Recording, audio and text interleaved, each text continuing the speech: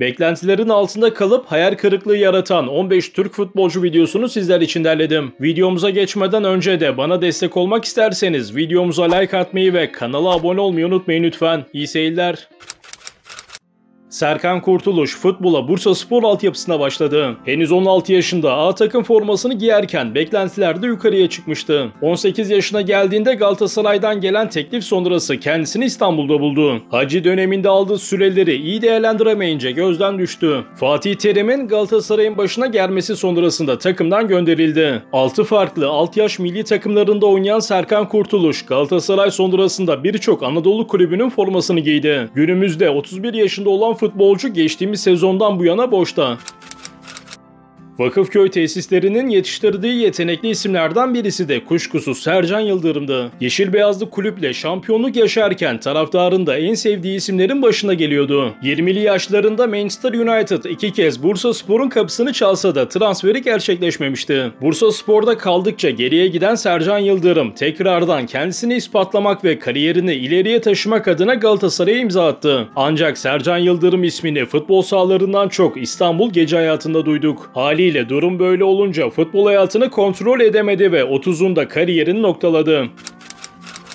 Birçok Fenerbahçeli Alex'ten sonra Recep Niyaz'ı izlemeyi hayal ediyordu. Bunun nedeni de Denizli Spor'dan Fenerbahçe'ye geldiği zaman zarfı içerisinde yıldız bir futbolcu olacağını vaat etmesi. Ancak Fenerbahçe formasını 10 kez giydi ve aldığı süreler de oldukça kısaydı. Yıllar sonra Recep Niyaz 2010'da Fenerbahçe'ye transferin büyük hataydı. Avrupa'dan 1-2 teklifte gelmişti. Cesaret edemedim. Keşke kabul edip gitseydim. Hatta Alex beni Brezilya'ya çağırdı. Gitmediğim için çok pişmanım sözlerini kullanmış almıştı. Günümüzde Gaziantep Futbol Kulübü formasıyla Süper Lig'de izliyor olsak da beklentilerimiz kesinlikle bu değildi.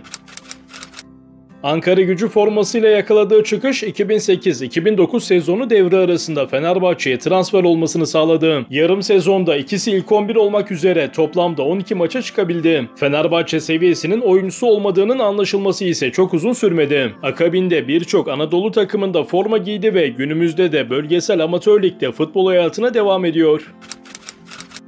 Trabzonspor altyapısından yetişen Barış Memiş, beklentilerin yüksek olduğu bir isimdi. Düzenli olarak alt yaş milli takımlarında oynadı. Gökdeniz Karadeniz Trabzonspor'a veda edince 61 numarayı giydi ve veliahtı olarak gösterildi. Ancak potansiyelini sahaya pek fazla yansıtamadı. Kariyeri için sürekli bir arayış içerisine giren Barış Memiş, alt lig futbolcusu konumuna düştü. Günümüzde ikincilik ekibi Sarıyer'in formasını giyiyor. Galatasaray altyapısından yetişen deneyimli oyuncu uzun yıllar parçalı formayı terlese de performans olarak tatmin etmediği de bir gerçek. Aslında Erik Gerets 17 yaşında formayı vermiş Galatasaray'a son dakikada 3 puanı kazandırmıştı. Rüya gibi başlayan kariyer pek de istediği gibi gitmedi. Yine de 17 yaşında attığı golün ekmeğini uzun yıllar Galatasaray formasını giyerek yediğini söyleyebiliriz. Günümüzde 33 yaşında olan futbolcu 3. lig ekibi İskenderun Spor'un formasını terletiyor. Gökhan Gönül 2010-2011 yılındaki Manisa Spor maçında sahadaki yerini alamayınca Okan Alkan da forma şansını elde etmişti. Sahaya çıktı. İlk maçın sonucu 4-0 Fenerbahçe lehine biterken Okan da 2 asist yaparak yıldızlaştı. 18 yaşında Fenerbahçe formasıyla daha iyi bir başlangıç söz konusu olamazdı. Dönemin Fenerbahçe teknik adamı Aykut Kocaman ve dönemin Fenerbahçe kaptanı Alex de Souza Okan Alkan için övgü dolu sözler kullanmıştı. Ancak bir sonraki hafta Kayseri Spor deplasmanında Fenerbahçe Fenerbahçe mağlup olunca Okan Alkan da daha fazla sahada kalamadı. Genç Okan'ın Fenerbahçe kariyeri de sadece 3 maç devam edebildi. Fenerbahçe'de alt yaş grubunun kıymetli olan oyuncularından Beykan Şimşek 2013 yılında A takımla ilk maçlarına çıktı. Türkiye Kupası'nda gol atmasıyla da Christian Baroni tarafından omuzları alındı. Deneyim kazanması ve Fenerbahçe'ye daha güçlü dönmesi için kiralık gönderilmeye başlandı. Ancak bunun sonu gelmedi ve toplamda 5 farklı takımda kiralık olarak oynadı. Fenerbahçe'ye geri dönmesi de söz konusu olamadı. Yetenekleriyle saha içerisinde fark yaratsa da istikrarsız görüntüsü kariyerini yukarıya çekememesini sağladı sağlıyor.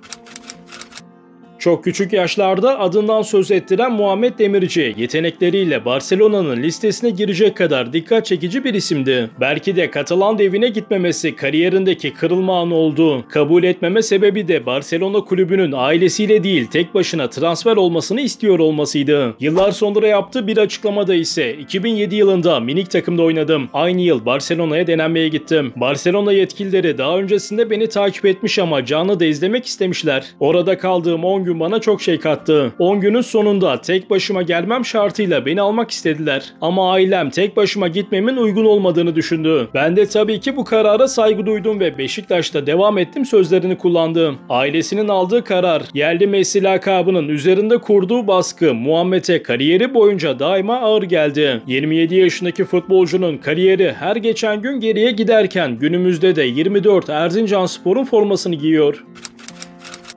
Beşiktaş'ın gurbetçi futbolcusu olan Aydın Karabulut'un en büyük sorunlarından birisi de disiplinsiz olmasıydı. Oyun tarzı olarak da Gökhan Töre'ye benzetilirken saha içerisinde de devamlılık sağlayamadı. Potansiyeline sahaya yansıtamayan Aydın Karabulut kariyeri boyunca birçok farklı Anadolu takımının formasını giydi. Ancak günümüzde 33 yaşında olan futbolcu formasını giyebileceği bir takım bulamadığı için boşta.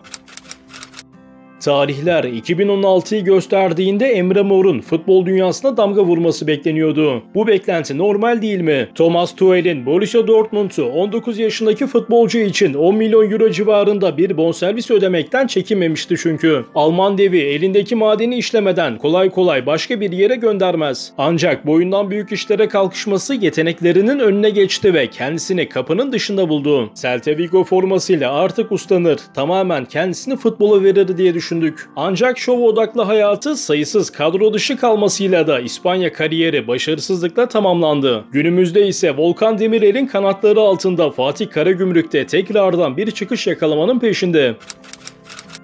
Bayern Münih altyapısından çıkan Berkant Göktan yetenekleriyle gelecek vadeden isimlerden biri olarak gösteriliyordu. 2001 yazında transfer olduğu Galatasaray'da zaman zaman iyi maçları olsa da beklentileri pek karşılayamamıştı. Kısa bir süre Beşiktaş'ın da formasını giyen gurbetçi oyuncu siyah beyazlı formayla da istediklerini yapamadı. Henüz 25 yaşındayken Almanya'ya geri dönüş yaptı. Burada alt lig takımlarında forma giyen eski futbolcu 2014 yılında Almanya Bölgesel Ligi'nde oynarken kariyerini noktaladı yakaladı.